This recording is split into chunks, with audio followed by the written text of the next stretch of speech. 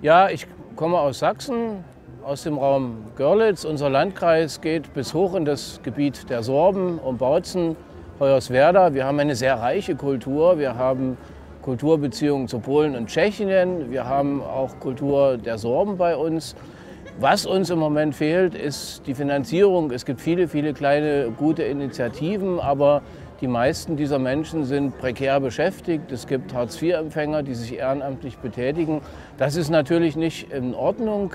Wir haben in Sachsen, das ist bundesweit einmalig, ein Kulturraumgesetz, aber auch das ist belastet von Kürzungen. Das finden wir nicht gut. Deswegen würden wir uns als Sachsen freuen, wenn A, das Kulturraumgesetz verbessert werden würde und wenn B, dieses gute Gesetz, was Kunst und Kultur wirklich möglich macht, auch irgendwo im Bund eine Verwendung finden, finden würde, denn das Gesetz ist wirklich vorbildlich.